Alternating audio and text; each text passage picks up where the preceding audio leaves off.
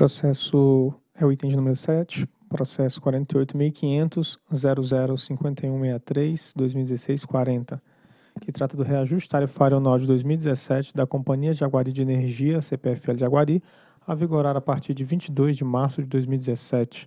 O relator é o diretor André Peptoni da Nóbrega. A Companhia Jaguari é concessionária do Serviço Público de Distribuição de Energia Elétrica e atende 1,8 milhão de unidades consumidoras, cujo consumo de energia elétrica representa faturamento anual de 4,1 bilhões de reais. Em 9 de dezembro de 2015, foi assinado o quinto termo aditivo ao contrato de concessão, de número 1599, prorrogando até 7 de julho de 2045, com fundamento na Lei 12.783 e no Decreto 7.805, e também no Decreto 8.461. E o termo aditivo contempla as condições de eficiência e qualidade do serviço, de gestão econômico-financeira, de racionalidade operacional econômica e de modicidade tarifária previstas no Decreto 8.461, bem como da nova redação às cláusulas econômicas do contrato. No processo tarifário de 2016, as tarifas da CPFL Jaguari foram, em média, reajustadas em 13,25%, sendo 11,42% para os consumidores de alta tensão e 17,14% para os consumidores de baixa tensão. E isso tudo consta da Resolução 2028 de 2016.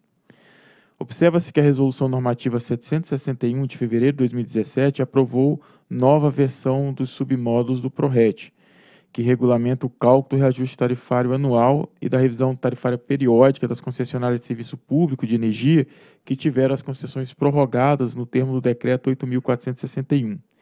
Em 14 de março deste ano, a SGT encaminhou via correspondência eletrônica ao Conselho de Consumidores da CPFL Jaguari as planilhas finais do, da revisão tarifária de 2017, consoante a a Resolução Normativa 652 de 2015, que aprovou a revisão dos submódulos, de alguns submódulos do PRORET. Então, a Superintendência de Gestão Tarifária, pela nota técnica 53, consolidou o cálculo do reajuste que estamos promovendo agora em 2017 da Jaguari. E a Procuradoria Federal conheceu da minuta de resolução e a chancelou. Bom, o reajuste anual da Jaguari conduz ao efeito médio a ser percebido pelos consumidores de menos 8,42%, sendo menos 5,31% na baixa tensão e menos 10,09% na alta tensão. E o efeito de menos 8,42% decorre do reajuste da parcela E e B, da retirada de componentes financeiros estabelecido no processo de 2016 e da inclusão de componentes financeiros apurados para serem recolhidos nos próximos 12 meses. E a atualização dos custos da parcela A e B contribuiu então para o efeito médio de 3,88, o efeito médio de menos 8,42, ao se adotarem como base de comparação os custos da parcela A e parcela B, atualmente contidos nas tarifas, sendo 3,26 referente à parcela A e 0,6 à parcela B. Então é 3,88 só no econômico. E em relação à atualização dos componentes financeiros apurados, nós temos, para compensar nos 12 meses subsequentes, contribuíram para uma redução de menos 1,84, já o efeito da retirada foi de 10,46 no atual reajuste. Então, o gráfico 1 apresenta os itens de custo que conduzem ao efeito médio. Então, nós tivemos um aumento de custo de transmissão e redução de todos os demais custos. E a tabela 2 apresenta, então, como é que teve esse comportamento. Então, nós temos uma parcela A, com aumento de 23,26, capitaneado sobretudo pelo custo da transmissão, e uma parcela B com um aumento de 0,62%. Então, na parcela A, nós tivemos encargos setoriais reduzindo menos 3,10%, e nós temos é, o custo de transmissão aumentando 6,74%, ou seja, aquele ressarcimento às transmissoras, eles contribuem praticamente com 5, 79% desse item de transmissão. Aí temos o custo de aquisição de energia caindo praticamente meio por cento e a receita irrecuperável com aumento de 0,03% nesse reajuste. Então, no IRT de 3,88, aí entra o componente do financeiro, o atual processo menos 1,84 e o que está sendo retirado menos 10,42, o que conduz ao efeito médio de 8,42. E aqui no, nesse no que diz respeito aos itens financeiros do, que vai ser recolhido no próximo período, eu chamo a atenção que já consta é, nesse, nesse item financeiro a previsão do risco hidrológico, que está contribuindo com 4,18 para o financeiro, mas o total do financeiro é menos 1,84. Então, na parcela A, o valor dos encargos setoriais reduziu menos 11,56% em comparação com os referentes ao processo tarifário anterior, correspondendo ao efeito médio de 3,10, e destaca-se a, a, redução do orçamento CDE uso, decorrente da aprovação das cotas da CDE para 2017, conforme resolução homologatória 2204-2017, que contribuiu para o efeito médio de menos 2,97, e a redução do encargo de serviço sistema e de energia de reserva, correspondendo à variação ao efeito médio de menos 1,06% do atual reajuste da concessionária. Os custos de transmissão variaram 112,70% em comparação com os valores referentes ao processo anterior, correspondendo ao efeito médio de 6,74%, e ressalta-se que a SGT estimou os encargos de uso de rede básica e fronteira proporcionalmente aos cálculos com a aplicação das tarifas vigentes, e e previsão de encargo a partir de julho de 2017 até a data do próximo processo tarifário, incluindo o efeito do aumento da TURG rede básica e da TURG fronteira, que ocorrerá em julho de 2017. O custo da compra de energia sofreu uma variação de menos 0,86 em relação ao processo tarifário anterior, contribuindo com menos 0,41 no processo, e as receitas irrecuperáveis, itens que passou a integrar a parcelar na metodologia de cálculo aprovada para as concessionárias que tiveram suas concessões prorrogadas, contribuiu para o aumento de 0,03%. O gráfico 2, então, apresenta é, o efeito por modalidade de compra de energia. A gente chama a atenção que o mix passa de 156,98 para 155,63, uma redução de 0,9%. E aqui a gente vê o, o valor da energia individualizado. Né? Então, nós temos a Angra, energia nuclear valorada a R$ 224,21 o megawatt. Nós temos a, dos empreendimentos estruturantes do Madeira e do Xingu, valorada a R$ 127,08 o megawatt. E temos o leilão de energia nova alternativa por quantidade, sendo valorada a R$ 157,64, e energia existente, que é térmica, né, por quantidade e por disponibilidade, a 359,74. No que diz respeito à parcela B, ela está sendo atualizada pelo IPCA entre março de 2016 e fevereiro de 2017, que respondeu por 4,76%, subtrai de um fator X de 1,93%, bem como foram observados os valores de outras receitas. No cálculo do fator X, então foram aplicados o PD e o T, que foi definido lá na revisão tarifária da Jaguari, e para aferir o componente Q, relativo à qualidade do serviço, foram observados indicadores de serviços técnicos e comerciais prestados pelas distribuidoras, com metodologia definida no submodo 2.5 do ProRet. E no caso atual, o reajuste, foram utilizados apenas os pesos dos indicadores DEC e FEC, de modo que o valor do componente Q a ser aplicado na atualização da parcela B é menos 0,10%. E o gráfico a seguir, o 3 e 4, apresenta a participação de cada segmento de custo na composição da receita. Vamos nos, até o, nos deter ao gráfico 4, que é a composição da receita com tributos. Então, nós temos 33,1% de custo de energia, 15,2% de custo de distribuição, 9,5% de custo de transmissão, encargo setorial em 19,8% e tributos em 22,4%.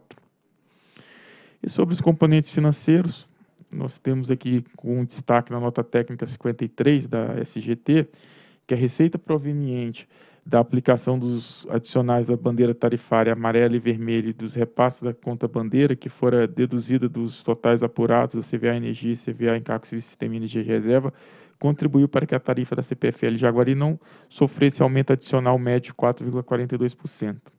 E a tabela apresenta a consolidação dos valores dos componentes financeiros.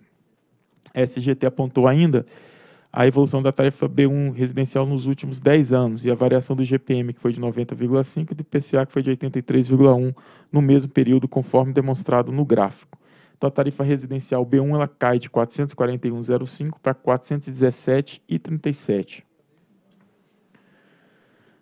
E sobre a, a, subvenção, nós temos que a Eletrobras deve passar a CPFL Jaguari em relação à competência de março 17 a fevereiro de 18, o valor de mensal de R$ 247.520,13 e o valor inclui o ajuste da diferença entre os valores previstos realizados no período de um ano anterior. Então, senhores diretores, a partir de tais argumentos e do que consta no processo 48.500.00 5163 2016 de 40, voto pela emissão de resolução homologatória como a minuta anexa a fim de homologar o índice de reajuste tarifário anual das tarifas da Jaguari, que vai vigorar a partir de 22 de março, que conduz a um efeito médio de menos 8,42, sendo menos 10,09 para alta tensão e 5,31 para baixa tensão, fixar a TURD e a tarifa de energia e estabelecer o valor da receita anual referente às instalações de transmissão classificada como DIT de uso exclusivo, aprovar o, a previsão de encargos de sistema de energia de reserva e homologar em R$ 247.520,03 o valor mensal de recurso da CDE a ser repassado pela Eletrobras a Jaguari, de modo a custear o desconto retirado da estrutura tarifária. É o voto. Em discussão. Aqui são comentários, dizer, hoje com a Jaguari, completa as cinco empresas né, do grupo CPFL que nós estamos deliberamos o processo tarifário hoje. Elas têm um comportamento muito uniforme em relação ao processo. Primeiro, como foi destacado pelos relatores, tem o efeito que é mais ou menos na mesma grandeza né, de uma redução do conjunto dos encargos, a ordem de 3, 3 e poucos por cento em relação ao ano passado, isso é o que impacta o IRT, quer dizer, o que ele contribui com o IRT negativo, fundamentalmente em função da redução do encargo de energia de reserva e a questão da CDE. Tem também em comum em todos os processos uma redução relevante do custo de transmissão, função da inclusão da cobrança lá da questão da RBSE, aí da grandeza de 5 a 6 até 7 na maior, o conjunto do impacto da transmissão né, na, no IRT, uma redução mais discreta, mas todas uma redução do custo da energia, parcela B um impacto muito pequeno, de sorte que oscila entre 2,56 negativo e 10,37 negativo entre essas cinco empresas, ou seja, todos os IRTs com efeito negativo, né, uma redução tarifária em todas elas. Isso também muito impactado pelo financeiro do ano anterior que está sendo retirado, daí a, a variação entre elas, dependendo do tamanho do financeiro que está sendo retirado, e também muito é, uniforme o valor final da tarifa, aquele gráfico que mostra a evolução da tarifa, todas elas um comportamento abaixo da variação do IGPM e do IPCA, e todas ali situando na faixa de 460, 470 é, reais por megawatt-hora no caso da B1, exceto a Jaguari, que distou um pouco para menos, 417 talvez seja uma das mais baixas tarifas. Então, aqui eu acho que essa tem uma amostra importante desse conjunto de empresas é, que mostra essa, é, vamos dizer assim, essa tendência de, em termos de comportamento. Também eu queria aproveitar esse processo para fazer um comentário de algo que nós eh, divulgamos aí, talvez não tenha tido uh, uma grande repercussão, mas eu acho que é importante eh, reforçar a evolução que houve do ano de 2015 até 2015 para 2016, que é o, o ranking que nós é, divulgamos, de uma melhoria importante na na qualidade do serviço prestado pelo conjunto das distribuidoras. Né, como sabem, um dos parâmetros que nós medimos é a questão do DEC, quer dizer, a duração equivalente das interrupções. Aí no consolidado Brasil, tivemos uma melhoria do serviço comparativamente a 2015, 2016 em relação a 2015, de 15%, quer dizer, uma redução no DEC Brasil de 15% é uma redução muito significativa. Dizer, caímos de 18,6 horas, em média, por, é, é, de ausência de, de, de, interrupção de energia elétrica para algo em torno de 15,82. Colocando o outro lado positivo, talvez a gente tenha que exercitar mais esse lado, quer dizer, a energia esteve é, é presente sem é, é interrupção 99,82% do tempo. Eu acho que é um lado positivo de mostrar que, além de ser o serviço mais universalizado, praticamente 99,7%, é um serviço que tem uma boa qualidade. Eu acho que aí tem alguns fatores né, que certamente contribuíram para essa evolução na qualidade. O, o FEC também teve pouco mais discreto, mas também uma melhor, ou seja, a frequência das interrupções também houve uma redução em 2016 comparativamente com 2015. Claro que aqui, de novo, eu estou falando a média Brasil, pode ser que uma ou outra empresa tenha tido um comportamento diferente desse, mas no conjunto das empresas é esse comportamento. É, então, eu dizia que um conjunto de ações certamente contribuíram para isso. Uma delas, que eu gostaria aqui de destacar, é o que nós denominamos plano de resultados. Nós selecionamos um conjunto de empresas que estava entregando uma qualidade pior do que aquela contratada, quer dizer, aquelas estavam mais distante é, da qualidade contratada, o que estava sendo apurado, e fizemos a, o chamado plano de resultado, ou seja, fizemos uma gestão, uma fiscalização, um acompanhamento muito mais rigoroso. Eu costumo brincar que essa distribuidora teve um tratamento VIP do regulador, ou seja, nós fizemos uma cobrança para que a empresa realmente melhorasse os seus processos, é, não para a gente interferir numa como se fosse uma cogestão, mas ela mostrar as ações que levariam à reversão daquela situação. Isso foi bem sucedido. Várias empresas apresentaram uma evolução muito interessante na sua melhoria da qualidade. Também eu acho que é relevante ressaltar o próprio modelo do contrato de concessão que nós usamos para prorrogar as concessões. Certamente aquele modelo também induziu a um comportamento, um rigor maior nessa questão da entrega da qualidade contratada, sob pena, inclusive, de abrir-se um processo com vista à caducidade. Então, eu acho que teve um conjunto, destacando apenas esses dois, mas um conjunto de ações que a gente está colocando um foco muito forte na questão da melhoria da qualidade. Né? Então, eu fico satisfeito em ver que os resultados estão aparecendo. Então, 2016 em relação a 2015 houve essa melhora acentuada. Na verdade, esse nível do DEC, é, é, eu diria assim, é o melhor nos últimos nove anos, tá certo? Então, houve não só a melhoria de 2015 para 2016, mas é realmente o melhor apurado nesse horizonte. Então, eu gostaria de destacar esses pontos. Bem, então, em votação. Eu voto com.